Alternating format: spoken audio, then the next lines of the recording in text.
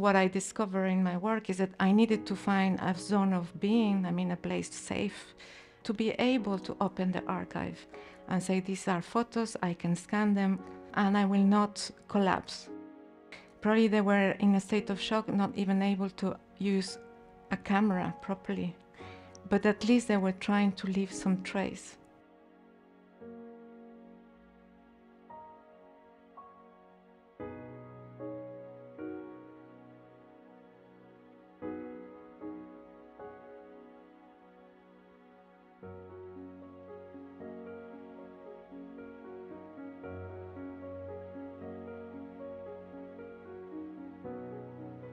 Think that like Cristobal's drawings get activated in a way that he walks in and says, "Oh, that's not my drawing, but that's my drawing, right? That's it." And I think memory has a similar thing. And the exciting thing about it is that you activate the past in the present, and that kind of opens up the possibilities for the future.